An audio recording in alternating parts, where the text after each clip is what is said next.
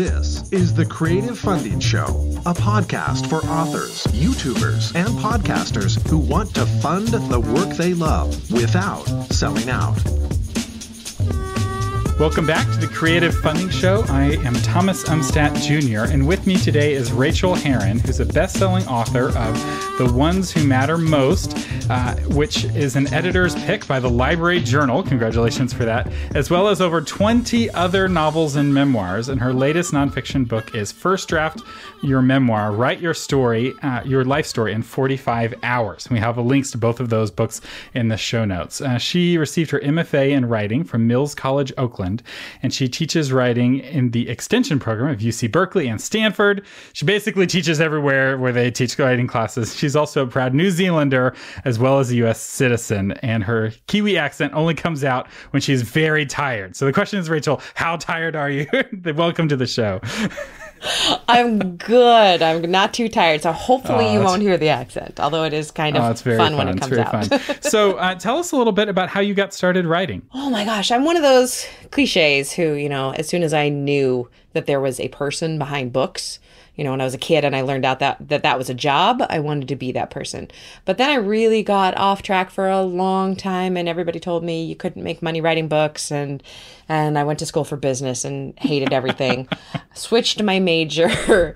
um, finally did English, uh, got my master's in creative writing, and then proceeded to spend seven years spinning my wheels, not really writing much of anything. I was always trying to write the great literary, you know, the great American novel, um, and putting, you know, 500 page manuscripts into the desk drawer because nothing happened in them. They were just character sketches. They were terrible. They were really terrible. I feel like everyone goes through that. There's this series at the beginning. It's kind of like when you get into a shower and you turn on the hot water. You just got to let the cold water flow through the pipe. it's like that bad writing. Once it gets out of you, there's good writing clogged up behind it. It'll come out eventually. What a great analogy! I absolutely love that. Yes, yes, that's exactly it. And so then my sister in uh, 2006 told me about National Novel Writing Month, NaNoWriMo, which is this online challenge where you write 50,000 words in the month of November. And I proceeded to tell her that I was a serious literary writer and I would never stoop to something like that. And uh, then, of course, as soon as she left, I was Googling it and signing up for it because Secretly, I really needed a secretly, yes, I needed a kick in my butt to actually do some work.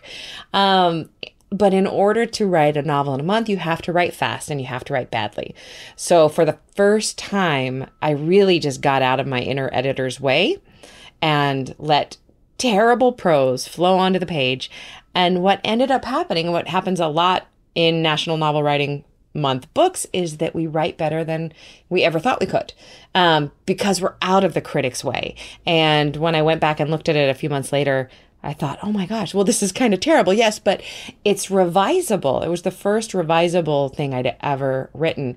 And that ended up getting me my first three book deal with um, HarperCollins and an agent. So it it was it was fantastic and I haven't looked back since. That's awesome. And that is a common story. Not that everyone, you know, with their first manuscript from NaNoWriMo gets an agent, of course, but yeah. uh, so many of the novelists uh, that I talk with got their start or their breakout doing NaNoWriMo partly because I think that it builds that discipline. Yes. Uh, to be a successful writer, you have to be a disciplined writer. Absolutely. You know, the idea of like the binging drunken writer, you know, it's not really reality. it's really not not. Yeah. I mean, you might get some words done that way, but I don't recommend it. That's right. It's romantic, and you know, is, those writers yeah. die young and poor, and someone later finds their manuscripts and makes them famous. It's like, even when that does happen, do you really want that to happen to you? Do you want that to be your story? I, I'd rather be healthy, yeah. so, what kind of books are you? Uh, did you start writing after that initial trilogy? Um, so those were romance, and I wrote um, a lot of those real uh, kind of feminist romances on the lighter side. Um, brighter and happy. And then I have, since then, I've written a bunch of um, darker mainstream literary novels for Penguin, uh, you know, in which people die and families recover uh, which I love. And I've written a memoir. I've written this nonfiction about writing memoir because it turns out that teaching memoir is just my favorite thing in the whole world. Because um, when you teach memoir, you're teaching people not only the structure of story, but you're a lot of times teaching brand new people to write. Like that not brand new people like babies, but brand new writers to write. These are people who have never tried writing before, but they have a good story. You know, they they want to tell about their lives. So I just find that incredibly exciting. And that's really important. And I feel like for a lot of authors, their first book is a memoir, whether they intend it to be or not. And if it's a novel, Absolutely. like the protagonist is very suspiciously similar to the author. And That in a sense, you- 500 exact that 500 page novel that will never see the light of day was just a terrible memoir. That's all it was. yeah, even even uh, people like C.S. Lewis, right, who writes the Chronicles of Narnia. His first book was The Pilgrim's Regress*, which everyone considers to be his worst book, and it's bas- basically his memoir. And what's funny is that he revisits memoir later on in his career with like uh, grief. Uh, he wrote one about grief, where he basically just wrote about what it was like losing his wife, and it's brilliant, and it sells like crazy I have to read that and I love him. Yeah, but his initial book, like Pilgrim's Regress, I was, you know, speaking at a C.S. Lewis conference, and they're like, "Read this one last. It's it's not his best work." I was like, "Well, gosh, if that can happen to C.S. Lewis, it can happen to anybody." That's so cool that you were at a con- at a CSO's conference though. How rad is that? Yeah, it's a. It, he's very popular here in Texas. There's like two different organizations for C.S. Lewis, and they're rivals, and they throw uh, conferences. But anyway, um, Wow. it's very popular. Uh, back back to your books though. Um, so you're traditionally published. You've had a bunch of traditional contracts, uh, but you're also on Patreon. So why? Uh, and I'm also self-published. And you're also self-published. yeah, I do. I, I'm now hybrid. I pro- I publish my romance um, mostly by myself. Uh, uh, uh, Random House in Australia publishes some, but I really like retaining the control of the romance. so and and is that the primary reason why uh, you've gone hybrid is to have that greater control? Oh yeah, and it pays more. The real reason. Uh, absolutely, yeah. You get you know sixty to seventy percent of royalties when you self-publish, and romance sells well. Right. Um, so I but but literary fiction still doesn't sell that well self-published. It, it still is helpful to go through a traditional publisher, and I love my agent. So so we kind of break it up that way. We're we're friendly about that. That's a good way to do it. When people ask me what they should do, I, I tell them that the primary benefits of being traditionally published is that they give you contacts and credibility and capital. So if you need a lot of money, uh, they put up the money for the editors and all of those things. But if you already have enough money from previous successes and you already have the contacts from being in the industry and you have previous successes that give you the credibility, you don't need those three C's nearly as much. Absolutely, like I've never heard it said that concisely, and that is absolutely true. And so I, I fully support your your breaking out into hybrid because it's a very shrewd business move. And because since you're not needing those things, you're uh, you don't need to pay them because you pay a huge premium, right? The amount a typical royalty is you know eight to twenty percent depending on you know your previous success and your agent and all these things. And you know when the best is 20% and the worst you're getting with tradition with self-publishing is 30% and the best is 70% is two totally different worlds Totally different games, yeah. And honestly, for my traditional deals, you know, it's I usually get closer to eight to twelve percent. I actually make more sometimes on the Amazon affiliate clicks to buy the book than I do on the sale of the book. Yes, that's uh, so. Real quick uh, for the people who don't understand, what is a- Amazon affiliates program, and how do you make money on that? Anyone can do that, even if you don't have a book out. You could have a um, if you set up an affiliates account with Amazon and you send out, say, a newsletter or you have a website. You can say buy this buy this book you can say buy my book or buy someone else's book here's my affiliate link and then I, what do you make on that i think you make between 10 10 and It's between four and eight percent, Oh, depending on how many units you sell. But it's between four and eight percent of their entire cart. So if they if a reader buys your book and a new MacBook Pro, which happens Yes, or a bag of dog food or whatever else people buy on Amazon because they sell everything that there is to buy. Uh, you get a commission on that whole thing. And typically November and December are people's best months because that happens. You know, they are they are looking at your book that you promoted to them, but also their shopping cart is full of all the Christmas presents. It makes a, sen- a good sense to do a Black Friday promotion on your book if for no other reason than to get that affiliate cookie on people's computers so that they do their Black Friday shopping with uh, your book in their cart. So true. I'm going to do that this year. So true. So, talking about creative funding, that's a really easy and creative way uh, to fund your book. Um, but you're also on Patreon. So, tell us a little bit uh, why why did you start a Patreon page? okay, so I started my Patreon page a while after I heard about it, I um I actually wish I'd even jumped on it sooner, but it is not too late. I'm here to say I have friends doing this also, but um it was about two and a half years ago. Two yeah, two and a half years ago. I was really uh, needing to get out of my day job, and I was very close. Um, I was a 911 dispatcher for fire and medical. I worked in the fire station lived there for 48 hours at a time, went home for four days and then back for two days. And it was really taking, I loved the job, um, but it was really taking a toll on my physical health. Um, just, you know, to go that long without regular sleep all the time. And I'd done it for 15 years since I got my master's, 17 years. And all that time I'd also been writing. And for the last 10 years, I'd been publishing books. Um, so I was getting close to the amount I would need to have every month reliably. But there was just this little gap that I needed to fill. Um, and I thought, boy, if I could make a $1,000 a month reliably, that would really, really make me feel more secure. I know it sounds like a small amount in order to make a large jump like that, but I knew what I needed to bring in per month to keep you know i live in the bay area to keep our household going with with my partner's um, salary as well. And so i decided to try patreon. And the nice thing is is that i already had readers and that's that that helped a lot because if you have a couple readers you know if you have 10 fans who want to read what you write and you only pro- and you produce some stuff that nobody can get unless they're on Patreon, then they're going to support you. Yeah, the key to crowdfunding is to have a crowd.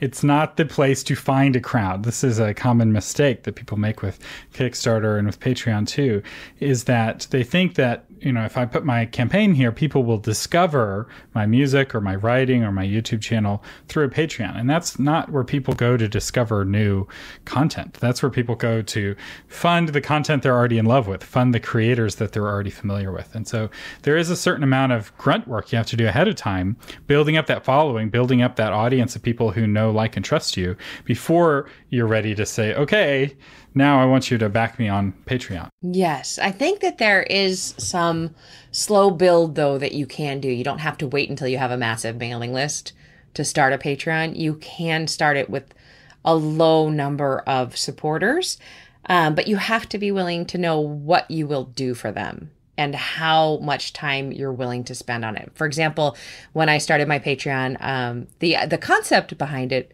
was I was going to write um, one essay a month. I, I I'm on Patreon on the per thing model, not the per month model. So basically, I have to produce a thing in order to get paid. I can do that up to every four weeks. So I really try to do that every four weeks. So it's I good motivation to write that essay. it's great motivation. Um, so and my yeah, what I was writing was um, essays on living the creative life, just on creativity in the brain and how we work as creative people, and but I did the math and I wanted these essays to be to start out being around 2500 words and I wanted them to be good and I wanted them to be researched and well conceived and well executed. And I decided I did not want to do that every month for less than $500. And that's the cap I put on it. Um, and that's that's that was basically the first goal.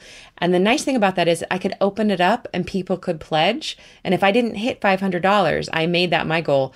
I never had to do a thing.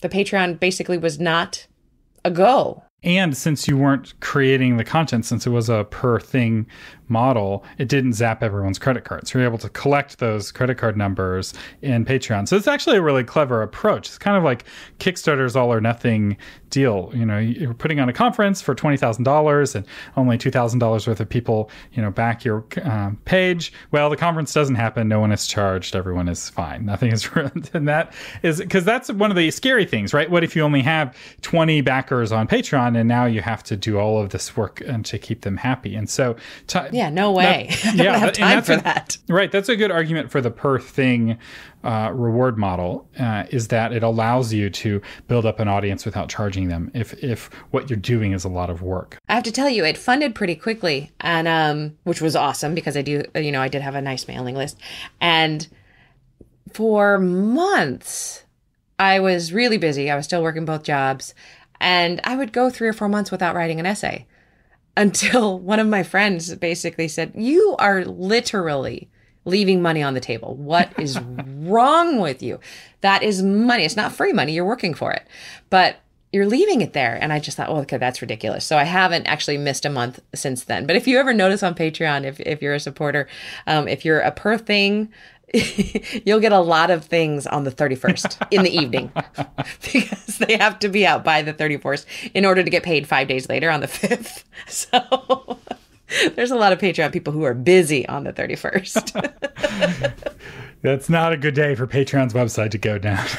oh, no, no, they would hear about that. Obviously, I don't write an essay on the last day, but I'm definitely putting the last touches on it that day. Right. So, so walk us through the process of setting up the Patreon page uh, for the first time. Uh, what was that like? What did you do, and what was your thinking going into it? I had, I had, um, I had one main thing that I really wasn't that comfortable with yet, and but I knew that I had to put together a friendly looking and sounding video.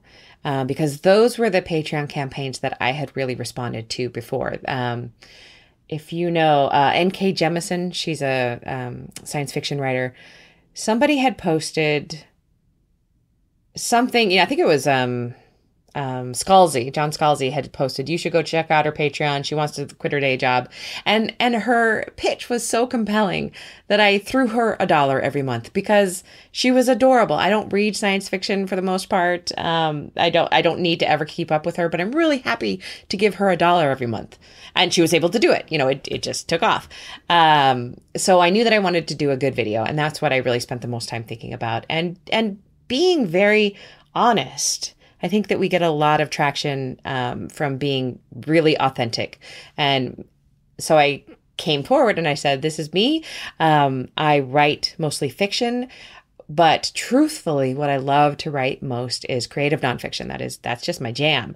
And I don't have time to do that while I'm writing books if this funds, this will pay for my time in writing these. And people just really responded. It's a really good video. And for those of you listening, we'll have a link to her Patreon page in the app. So just scroll down on in podcast app or whatever app you're using. You can tap to go view this video. And it's part of the reason why I invited you to come on the show. Because, you know, as I was researching your page, I watched the video. I was like, oh, this is a, a well done video. It's a little bit longer than videos normally are, but you hold the attention, uh, or at least you held awesome. my attention all the way through, and well, the thanks. audio was good. so, uh, and I think that that's really important. You know, people need to be able to hear you in a very clear way. And how, how did you film it? Did you do it on your webcam? I did it on my webcam on my Mac, uh, MacBook Air, and I do have a professional mic that I use for podcasting. So I already had those two things for me. Um, and that, but but I re- I'm I'm much more comfortable with the video medium now because I do video podcasting as well. But but back then, I think this was one of my very first attempts. So I'm glad it worked out. yeah. I will say, for because I look at a lot of Patreon pages, and a lot of authors skip the video, they and I shouldn't. think that they're really missing out when they do that. And they're like, "Oh, well, I don't look the way people think that an author should look." And it's like that's not what matters. And none of us do. The authentic you is what people want to see. No one's wanting a supermodel on the camera. They're wanting you, and they want to know what you look like. One hundred percent. I can tell you that I gave to a Patreon campaign. Um, in which the woman's glasses were on crooked. And I was just like, she is so real right now, you know? She is just being real and she's talking about her passion. I was like, you deserve my dollar, ma'am. you know? I want I want authentic. That's right. what I want. And I think that that's a really key point because this isn't you reaching the masses. This isn't you selling your thousands of books to your thousands of readers. These are your core insiders. This isn't your concert at Madison Square Garden. This is your house party concert or your house. What like what's what do, they call it when it's a house concert? Like yeah, house party. Yeah. yeah, house party. Uh, yeah, the, the musicians have a term for that. It's there is, and I can't remember what it is. Yeah. But but like being invited to that, or like the Beatles' last concert that was on the roof of some house, right? Like that's what this is. That's what Patreon is is and that's why people are paying the money is that they feel like they get access to that insideness part right? They get to see what your house looks like and they you know they get to see what you look like and and that access is part of the appeal. It's part of why certain people are going to want to come to your patreon page. So and they through- honestly know that that they're actually making a difference and i make sure that i i keep telling them that. They're not you know this this these one dollars seem like such a small amount but they just add up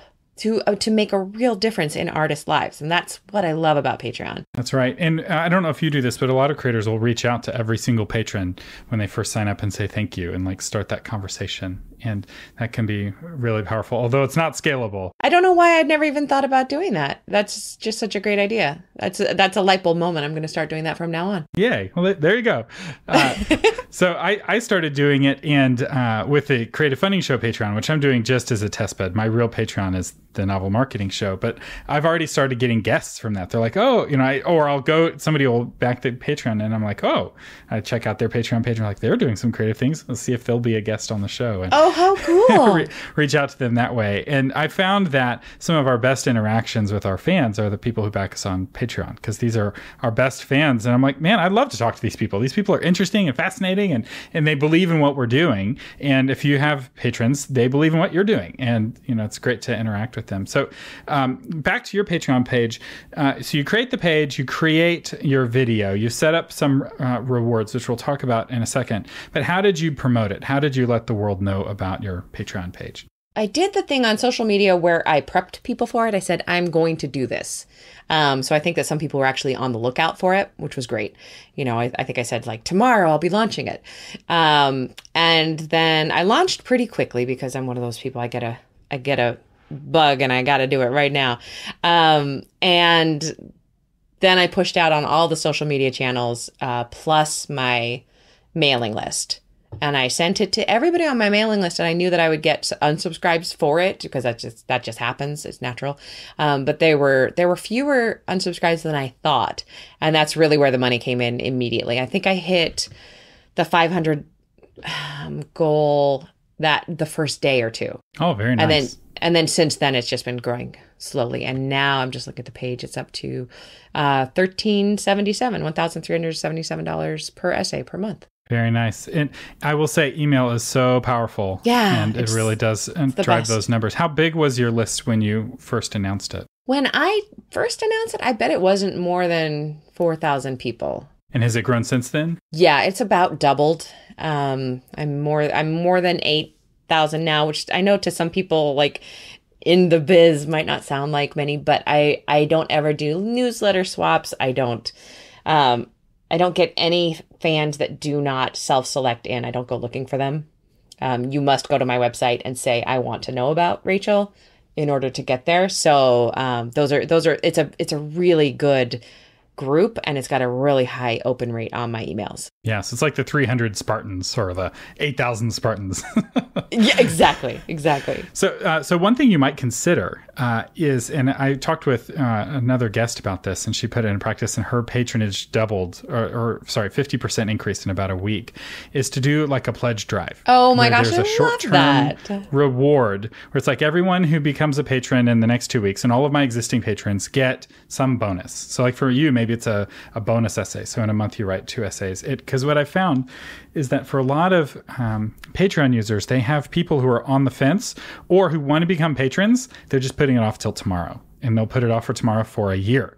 And all they need is that little uh, sense of urgency, and suddenly you get a flood of new patrons uh, coming in. And I could, I, I realized that I haven't actually asked people to join my Patreon since it started. Oh wow! I put, I just, I'm very bad at things like that. I put the link in all my emails. You know, it's there next to Twitter, Facebook, Patreon, um, but I have never done anything like that. So I think uh, you're, you're, you're brightening my day with this. I'm totally going to do that. So there you go. I, I, feel like a good Patreon promotion model looks kind of like a heartbeat, where you got these big surges of attention, and then it's kind of and then big surges, and those big surges happen every year or so. Uh, and you know, it works for PBS, National Public Broadcasting. Yeah. You know, they do their big pledge drive once a year, and their their whole push in that pledge drive is to get people to sign up on a monthly basis. It's not you know give us a big lump sum, and part of what that does is it also forces them to remind the people who've been giving every month why they're doing it. You know, you know, they're reminded, oh, I feel so good about giving to PBS. And in a sense, the patronage model is for creating content, videos, and you know that's exactly what PBS has been doing for a long time. And uh, they've learned a thing or two that we can uh, steal some of their ideas. I love that, and people eventually, people like me, eventually give out of guilt. You're like, I am still cooking dinner on the fourth night, and I have not given yet. Yeah. All right. So so walk us through your rewards. What uh, to take us through the one dollar reward? What do people get when they uh, give you a dollar on your Patreon campaign? Okay, so for one dollar, um, they all get a digital version of each essay as soon as it's released. Um, it's the bare minimum.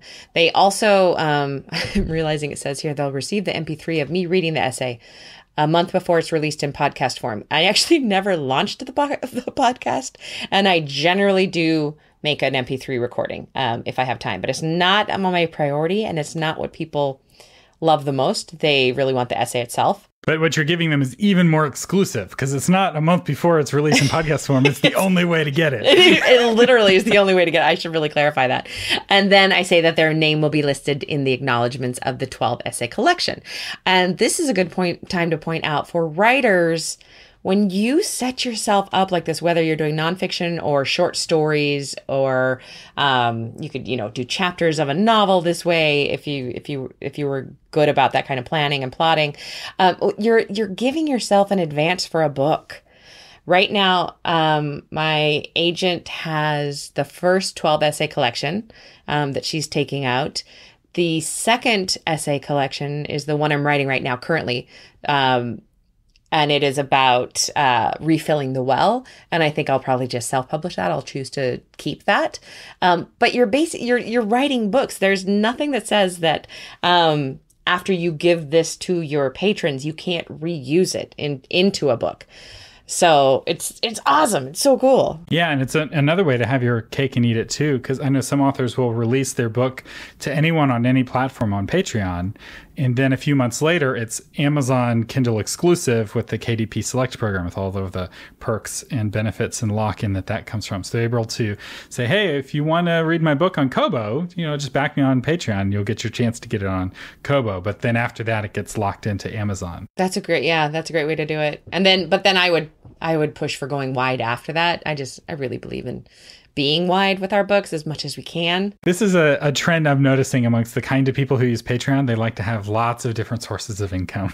so yes, absolutely. Go, going wide has that advantage. Uh, where I do not want to put all my eggs in Amazon's basket, although they do pay most of my bills. That's right. So. All right. So tell us about your $3 level. $3 level. This is my favorite level. Um, this is what I call the ACE level. They get all those rewards plus texts from me and um, to share with your listeners, um, basically, I text people three to five times a week through a service which doesn't share their phone number with me and doesn't show share my phone number with them. I use something called remind.com. It is a free app that is for teachers. And basically you create a classroom. And you know, it's it's supposed to be so that your you know second grade teacher can communicate easily with all the parents before the field trip.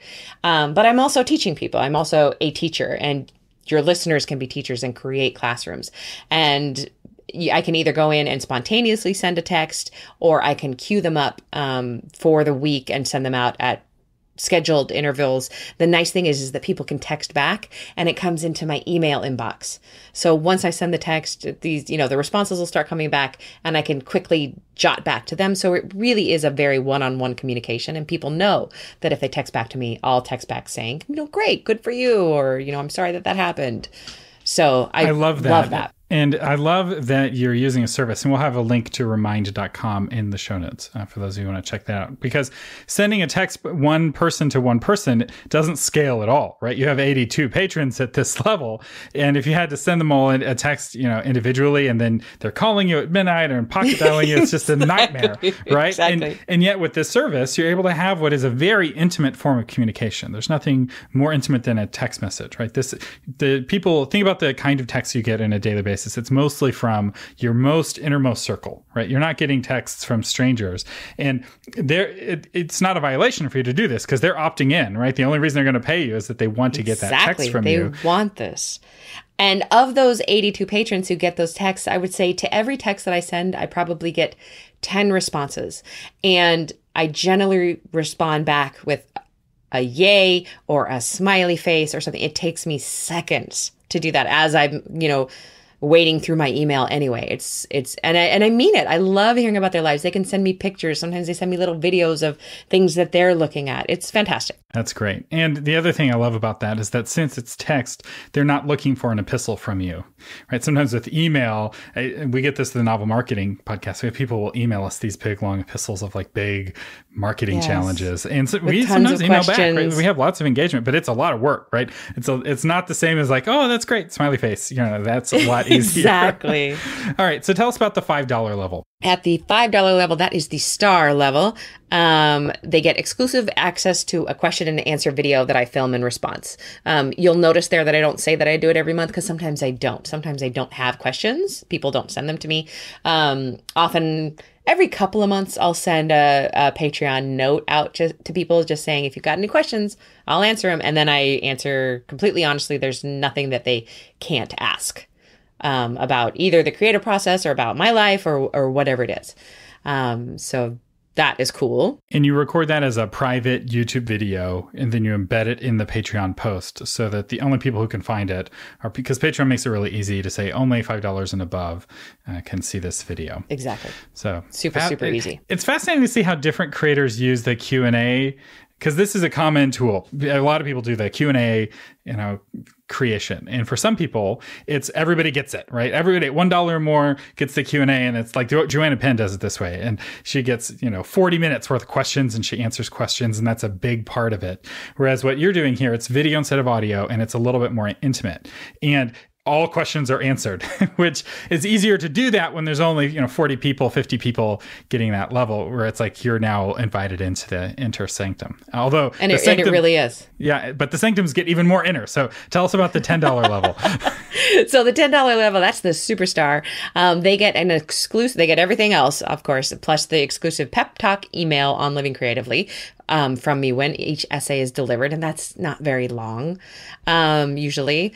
And then I think more importantly than that, they get the digital e version of the essay collection when it's complete. And that's actually something that will need to be, um, if my agent sells it, um, it'll just be written into the contract. You know, these, how many people are there? There's 34, there's about 45 people who would get this, um, and they would just need to get the digital arc they would all all get the, the digital uh, advanced reader's copy because they that's my agreement to them. And even if you had to buy it at a discount from your publisher at ten dollars a month for multiple months, it still works out, right? This, it absolutely. You don't have to have the contract negotiated ahead of time with the publisher because you know, regardless of how it happens, it's still a good deal. And ultimately, they're not buying this because they want to get a discount, right? This is a really important thing. They are not. This, these aren't discount hunters. These are your core fans who are wanting to support you even more. And this is one of the things that was surprised me with Patreon a little bit is that we have backers of the novel marketing podcast who back at a level higher than our highest level. like they're wanting to support us at a certain amount, and so they're just picking the number. And they're even though there's no reward level even close to there because they they like what we're doing so much, they're wanting to help us out. And and you have people like that potentially you know the bigger your audience is obviously the more people like that there are. And they they want to give you that money. And so you don't have to like sometimes with patreon pages people are like spending their whole day like oh i'll give you whatever you want. It's very exhausting for them. And it doesn't have to be that necessarily. And i don't think it should be that. I, I really don't think it should be that. Um, and that's funny that you say that. I a couple of times i've met patrons in the real world and and one one time I said, you know, thanks so much for supporting me. I hope that you enjoy the essays. And she said, what essays? she just hadn't. She had never noticed. She didn't care. She just wanted to support me, which is incredible. And I always tell people to to put bigger um, rewards than you think will ever be picked up, just to see what happens. Like I put the one hundred dollar rewards, and people pick them up. Yeah, we we saw that uh, with novel marketing uh, at our top level, which was is sold out and isn't published anymore. You get your book featured on the podcast, and probably thirty percent of the people who back to that level has have not sent us their book name.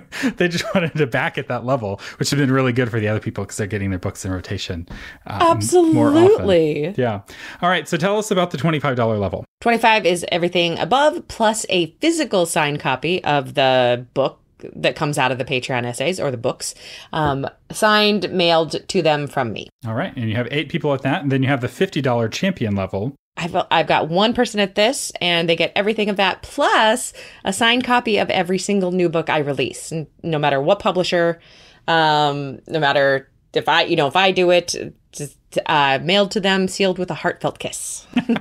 There you go. And now you have a hundred dollar level, and you have five people. So you limited this to twenty total, and so far five people have backed you at the hundred dollar level. What are what what are you giving at the hundred dollar level? I just can't believe that people do this. Like, it's just like this just opens my heart and fills it with so much love. It's amazing. Um, at this, they get everything above plus creativity coaching, 30 to 60 minutes of one-on-one time with me over a month over Skype. Um, they get a recording of this. Um, and I have to tell you that I have, I think three of those people have never taken me up on that. One has never even responded to my emails trying to get her to take like like she'll text me back so i know she is alive. Um she'll text me back in those little texts. But but when i say you know would you like to get together on skype? Nope no no response. It's just support. That's awesome. isn't that beautiful? That that really and it's isn't it's really encouraging, right? When you're sitting down to write an essay, you know that there are certain people who are just wanting to support, you know, your mission, you know, because these essays are, you know, you're trying to say something with these that's not just like fluff, and people are wanting you to say that so much that they're willing to put down a hundred dollars just to make that happen. it's incredible There's a um, a level I, I've known some people do is like a mastermind call where everyone at a certain level is all together on a single Skype call. So you do them all at once. Uh, but with you, it, you don't really need to do that since most of them they're not doing it for the Skype call. they're doing it because they can afford hundred dollars and they they want to uh, kick that in. So I, I love what you're doing with these. And I, and what's really smart is that these are all very scalable. The one that's not, you very smartly limited, right? Because you let's say 50 people signed up to have these calls.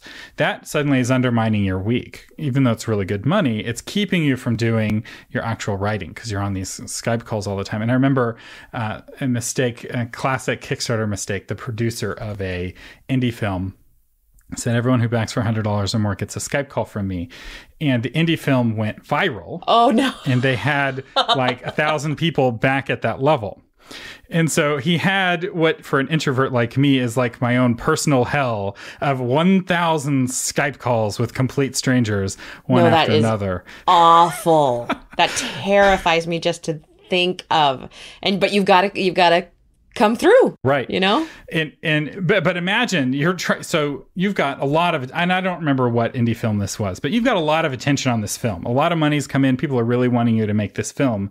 But instead of working with the director and working with the actors and pulling things together for site locations and stuff, it's like talking to one fa- and having what is it affect I imagine the same conversation over and over again because people will ask the same questions and it's just like please never oh again. god that's So- when you want to hi- hire your doppelganger to sit in your chair for a little while That's right. And I think the important principle here is you always want to ask the question what if this becomes insanely popular? Am I protected?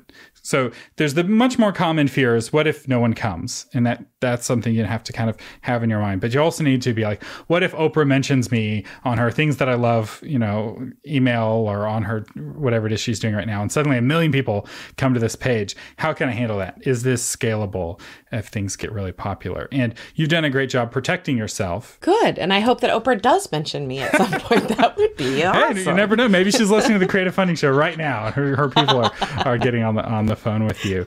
Um, or with you. yeah, there you go.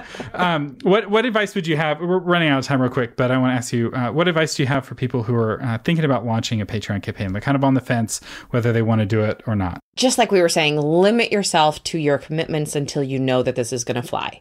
Don't make yourself spend a lot of work thinking, writing, doing any of this stuff if it's going to be for $3 a month.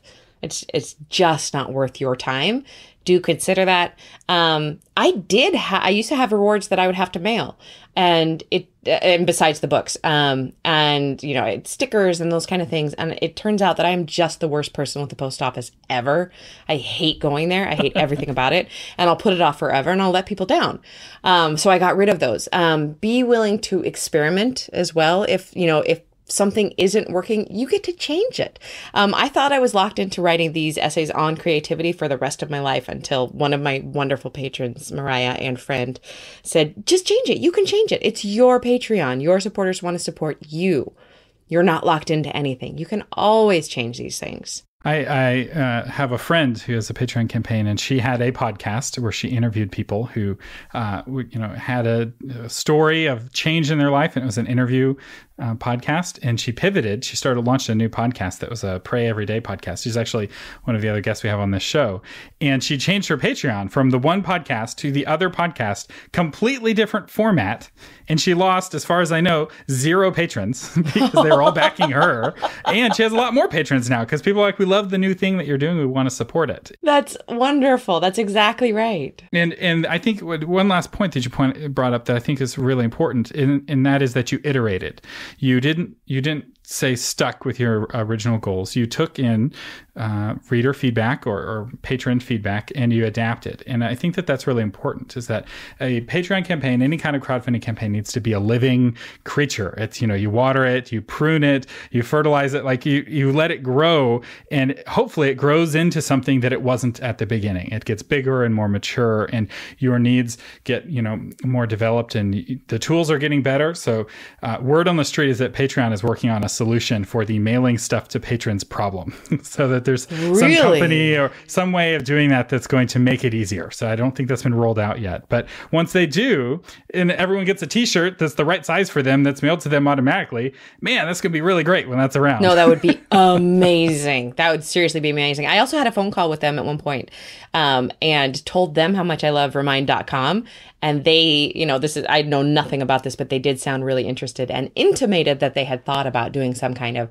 um, confidential texting service like that because people really really enjoy it and you know they don't want us using remind they want us staying within the patreon world that's right. So, uh, Rachael, thank you so much uh, for coming on the show. Where can people find out uh, more about you? Uh, rachaelherron.com. It's spelled like Michael, R A C H A E L, and uh, patreon.com slash Rachael, R A C H A E L. And I'm always on Twitter, Rachael Herron. All right. And we will have links to all of those places uh, in the show notes. Rachel, thank you so much for coming on the Creative Funding Show. Thomas, it was just a pleasure to talk to you. Thank you so much.